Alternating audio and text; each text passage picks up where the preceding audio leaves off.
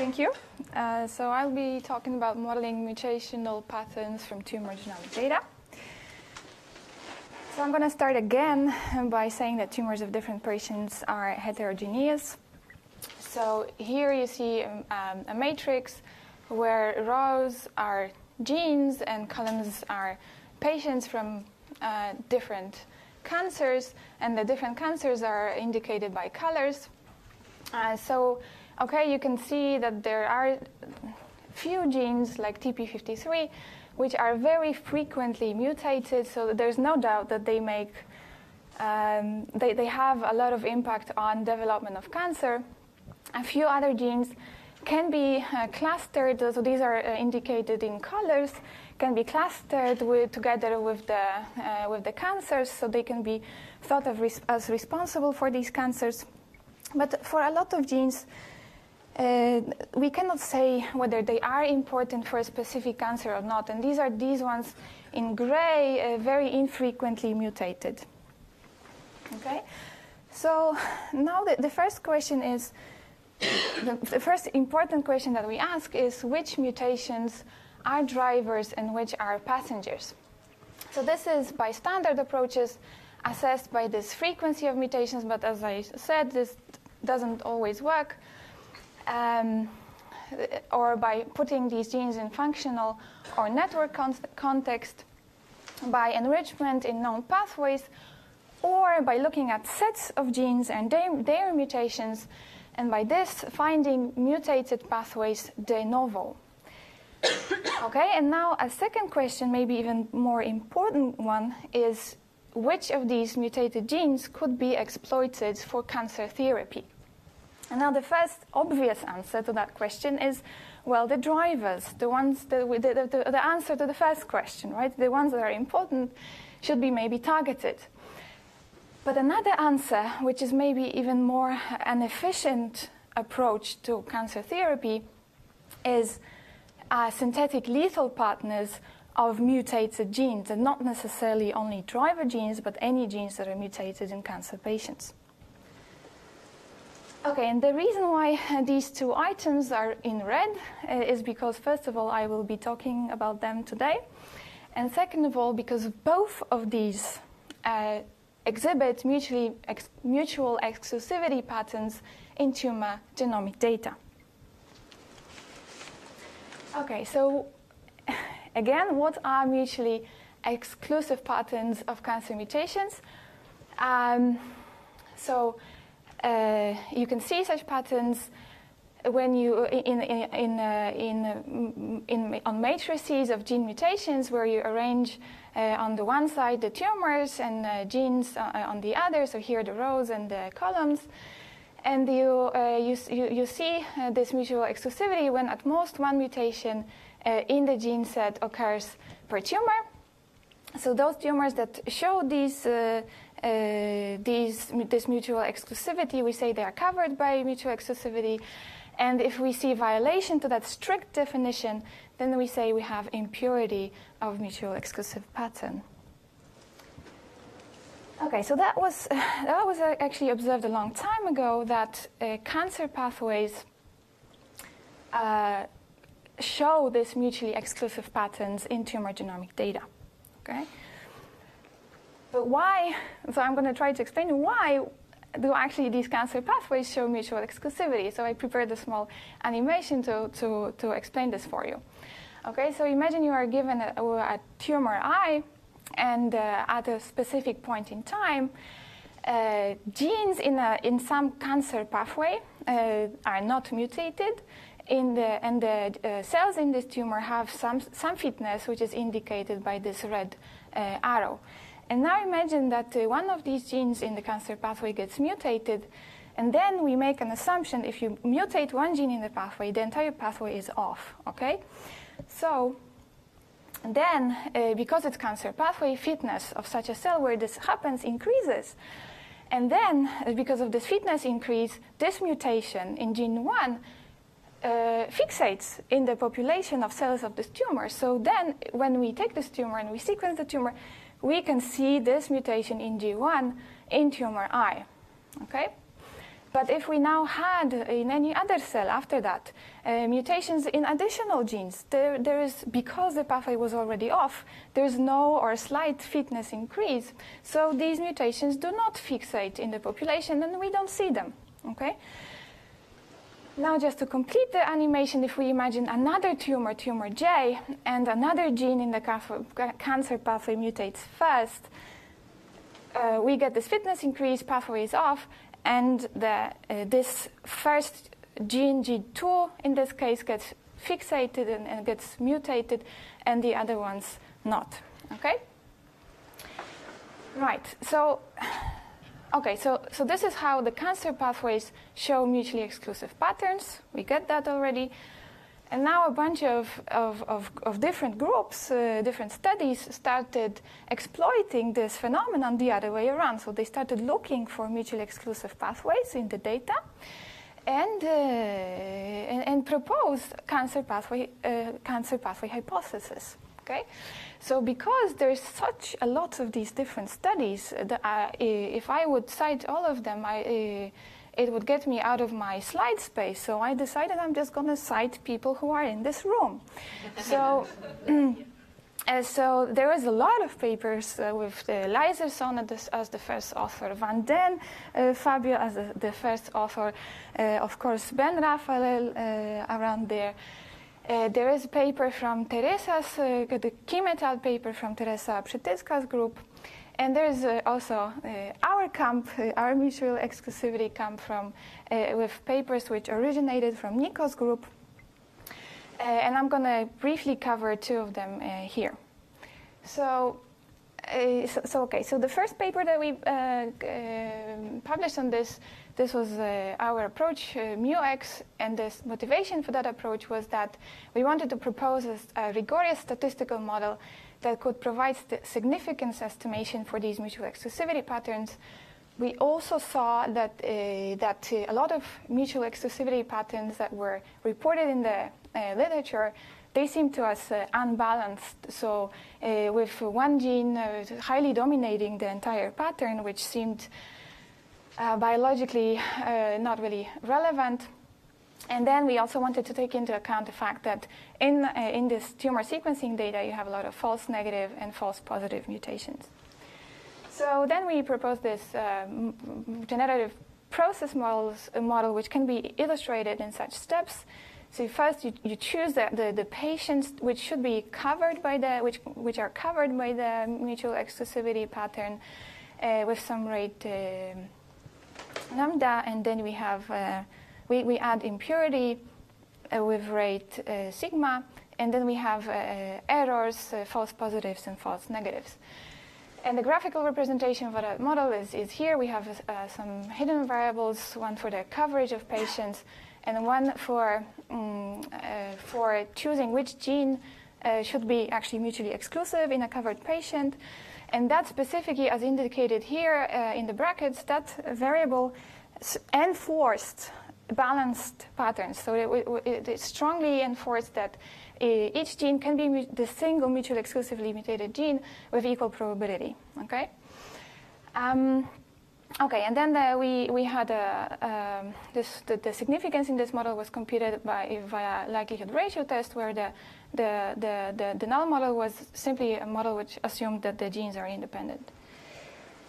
So then we analyzed this model in, with increased uh, uh, complexity. So um, we had some efficient uh, algorithm for parameter estimation with some uh, assumptions, and then we so showed that the, in the full model, the parameters are identifiable but not identifiable in practice. So you need basically infin infinitely many samples to, to really uh, re um, uh, reliably estimate the parameters.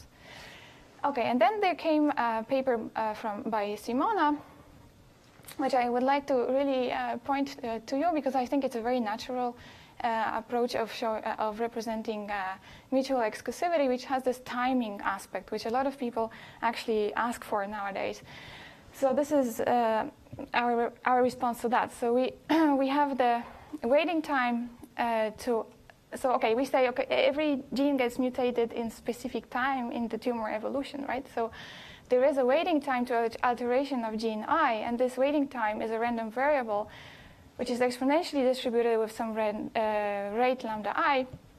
Uh, we, we don't know at which time point of gene evolution the, the diagnostic uh, the, the diagnosis happens. So there's this observation time, which is also uh, then a random variable. And, uh, and we have the, the null model with the two, where it's okay, the, the, we are asking now about mutual exclusivity of two genes. And in the null model, the genes are conditionally independent uh, given the, these, the observation time and these waiting times. And um, in the mutual exclusivity model, this, this model is exactly the same as the null model, but now here, uh, the, uh, the, the, genes are not conditionally independent, and their dependence is, is, is governed by this uh, mu parameter, which, which when you set it to zero, then you get to the nested uh, null model. But if you set it to one, you get perfect mutual exclusivity.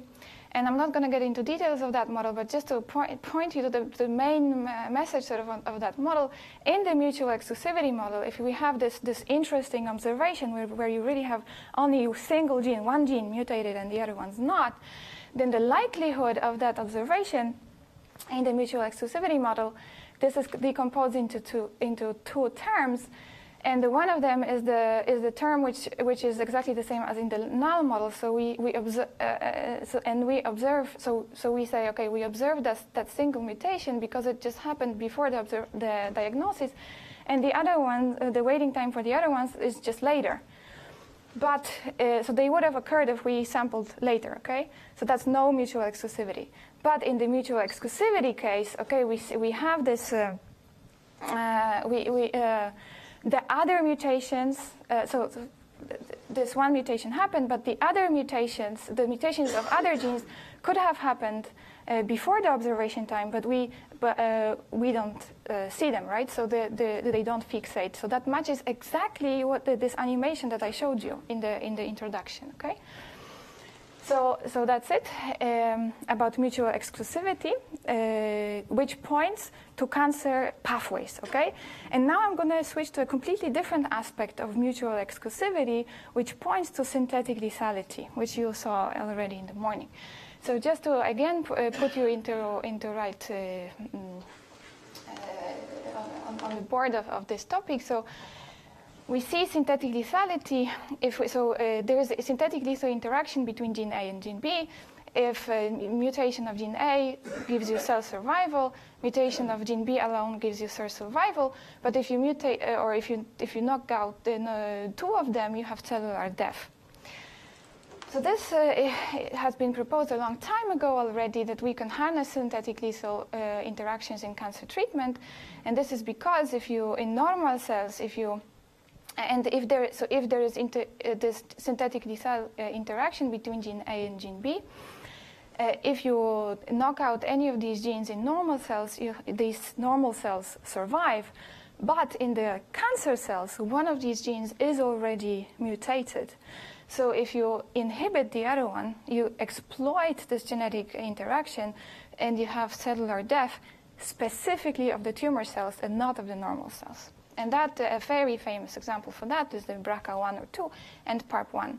And the PARP1 inhibitors are, are already around in, in, in uh, uh, exploiting that uh, uh, interaction. So, okay, so I'm just going to repeat maybe the discovery of synthetic lethal interactions is extremely difficult. So the experimental approaches are over, overwhelmed by the combinatorial number of, all possible pairs of human genes and uh, you know different tissues and so on. So there have been studies with, which focus on one experimental studies which focus on one prominent cancer gene and screen for interaction partners of that one gene, or which otherwise limit the to uh, or which limit somehow this testing input uh, in any other way. Like for example, uh, just sorry, just take uh, testing. Um, just testing uh, DNA repair genes. And now the computational, uh, there, there were lots of different uh, SL prediction, computational SL prediction approaches, but the ones that I want to point you to are, uh, are ones that combine different sources of evidence from different kinds of data. So uh, so this is an overview from a paper which you have seen already in the morning by uh, from Eytan Ruppin's group. So the idea is, okay, we're going to combine all these different uh, data sets. We're going to mine for, uh, for synthetic lethality interactions. We're going to get this cancer synthetic lethality network. And then maybe add additional patient information and, and hopefully predict gene essentiality, drug responses, and clinical prognosis.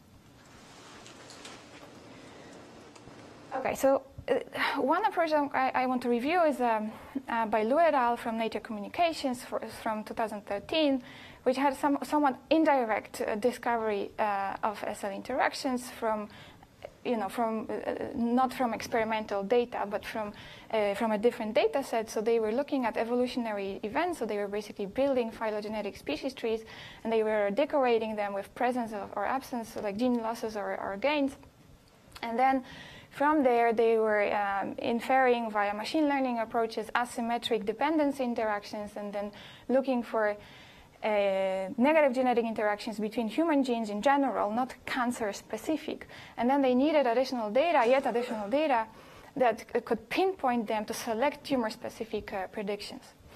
Now, um, what we have done uh, in, in, our work, and of course what you, you have seen already from uh, Eytan, uh, Eytan to, today in the morning, other approaches look at gene mutation expression clinical data, which comes from tumors, okay, directly from like TCGA, right, from directly from tumor genomic data, and is already tumor specific. So what we have done will, uh, we combine different uh, types of genomic data, point mutations, copy number variants, gene expression, with survival, and and and, and uh, we specifically we looked for mutual exclusivity, um, confirmation, survival data. We ranked uh, uh, the candidate gene pairs accordingly, and then we assigned significance to these findings using Cox models. So. So the first criterion for us for detecting SL gene pairs from the genomic and clinical data, the first criterion for us was, of course, this mutual exclusivity. So we looked, so we divided the, the set of tumors that, that we had at hand into four groups. Uh, one of them, G1, was where the first gene in the pair is mutated only. And the, the G2 would be uh, another group of, of tumors where this second gene is mutated only. And then uh, a third group will be both, where both of them are mutated at the same time. And of course, from the basic definition of synthetic lethality, you expect that if, the, if G1 and G2 are synthetic lethal, then you want that both group is underrepresented in the data given the, the, the frequency of mutations of, of these two genes. So this can be assessed with a hypergeometric test. And for a pure uh, uh, synthetic lethality, of course, the, the both group could be uh, essentially also just zero. Um, but, the, but, but, of course, you have loads of mutual exclusivity pairs uh, in tumor data. Okay, you, you, you, and of course, not all of them will be synthetic lethal. So what we also imposed as a, as a second criteria, criterion was that we wanted that the, that the individual uh, uh, mutations would be good or neutral for tumors and bad or neutral for patients. And the both group not only would be underrepresented, but also bad for tumors and good for patients. And bad for tumors just means, yeah, it's synthetic lethal, right? So they should be worse off than having either of these two genes um, uh, mutated. And then, then, then the good and bad would be assessed with patient survival. And how was that uh, exactly done? So we, we were plotting these Kaplan-Meier plots for, for the four groups, for the both G1, G2, and neither, which was treated then as a reference. And we were looking at the just the, the, the, the, the survival function, which is represented in the Kaplan-Meier plot. And to summarize these, these, these uh, survival functions, we used uh, simply the, um, the area under these curves, these survival functions.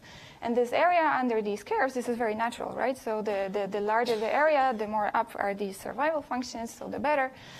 Uh, but of course, this natural ways of summary exists in, in, in survival analysis, and that it, it, even has a name, restricted mean lifetime. This is simply area under the survival curve. So we were computing these mean restricted lifetimes for the three groups, G1, G2, and both, because we wanted to compare them. So then the fitness of patients in any of these three groups would be how well they are doing in terms of their survival as compared to the reference. And now we assumed, okay, we have to have some proxy for the fitness of tumors, okay? So that would be just the inverse fitness of patients. So the better the tumor is, go, is, is off, the, the worse the patients are off, and, and, and the other way around. So then we had, um, and then we uh, proposed this SL score, which would be actually a direct uh, derivative of the uh, of the definition of a negative interaction. So this is the di- divergence from additivity of the of, of, fitnesses, right? So we were we had a ratio of the fitness of the both group where both of them are mutated, and um, and what would be expected from the individual frequencies. So it was a log of uh, fitness of both and the pro- uh, and the ratio divided by the product of the fitnesses of the two groups. So that, scores, uh, that score was used to rank our candidate uh, interaction pairs, or synthetic lethal interaction pairs. So the ones that were on the top, they were showing this, the, this largest uh, sort of surprise in terms of genetic interaction. And then to, uh, to assess significance of these interactions, we were using Cox models, which were getting also uh, taking into account also um, the impact of other known, well-known predictions like age, uh, predictors like age of the, of the patients. Okay, so that was our work. You saw work by by uh, by eight from Eytan's group. They they uh, and I, am just uh, showing you again a picture from their paper because I, I just want to say just want to ask how well now can we uh, do in general in predicting these uh, synthetic lethality pairs. And one way to assess it is like like like they done in this paper so you can basically try to, try to validate your predictions with experimentally verified gene pairs. And um, there they had um, synthetic lethal pairs, non-synthetic lethal interactions, and uh, synthetic dosage lethal altogether, 7, to, uh, around 7,000 gene pairs, both positive and negative cases. And okay, the, the, the DAISY approach you see uh, is, is, is in blue, it goes like here. But in general, it has the, the, uh, it, the most important component to the prediction are, uh, is taking two sources of knowledge, SOF, which is essentially mutual exclusivity, and co-expression of genes, okay? So this is how well you can do. Uh, so a, a, student of mine, uh, Ola Novak, uh, just to, uh, we wanted just to focus on synthetic lethality, so forget about the synthetic dosage um, lethality. Uh, she focused on SL only, so that selected for uh, uh, that actually left only 800 known gene pairs, uh, synthetic lethal gene pairs, and only 15 true positives. So there's much more, much less true positives for synthetic lethality than synthetic dosage lethality. And he tried to replicate uh, the DAISY approach, uh, of course as good as, as we could. But in general, I'm actually pretty uh, convinced that it's, it's harder to predict synthetic lethality than synthetic dosage lethality, and there is room for improvement in synthetic uh, lethality prediction. So the AUC is, is lower. And in general, synthetic dosage lethality, of course, you could better, uh, do better as well. So what we are working on now at the moment is um, to extend the evidence sources even more. So I, I believe in, in, this, in, in combining all these data sources for improved predictions. So in particular, we are looking, uh, we are inspired by this paper by Lu et al. We want to look uh, also at these evolutionary absence-presence patterns, uh, mine protein-protein uh, interaction networks, and look for specific uh, uh, motifs in these, in these networks which could predict negative genetic interactions. so with this, I would like to thank you very much for your attention. And I want to thank Nico uh, Simona for, uh, for the mutual exclusivity work, and Navodit and uh, Martin for the synthetic lethality work, and, and Ola Novak, who's working now on, on, the, on the synthetic lethality project. So thank you very much.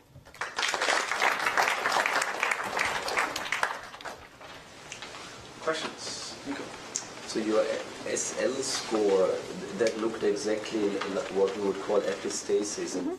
Yes, exactly. So, so why does it capture only negative um, interactions, which is what you're looking for? That should also pick up positive ones, no? Or Uh, this sort of s- I think that there has to be some sign. uh, So it, if it's um, one way or the, the positive or negative, then you would expect this ratio to be sorry, either larger or negative or smaller than zero than one, right? So yeah, I'm looking only in one direction, of course. Yes. I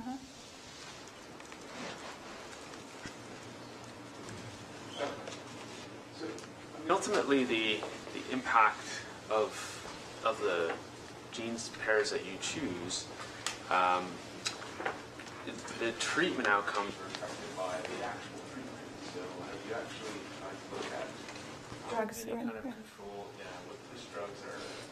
Um, are So in the, in this in this work, no. Uh, no. Is that in the plan? Yeah, absolutely. Yes. So I have a question about independence model assumption. Mm-hmm. Does the independence uh, take into account uh, the mutation rate of patients? In which of our models? In the In the, the, the, the first model, next model. It estimates the frequency of mutations directly from the. It, it, it exactly is estimated by taking the frequency of mutations. So the likelihood in this model is just computed as a as a product of these frequencies of the gene of the gene of the gene across patients. of the gene across patients, Yes. but without correcting for mutation rate of patients. Without. Yes. more questions? Yes. Can you generalize this score to more than two genes? Uh, these? Yeah.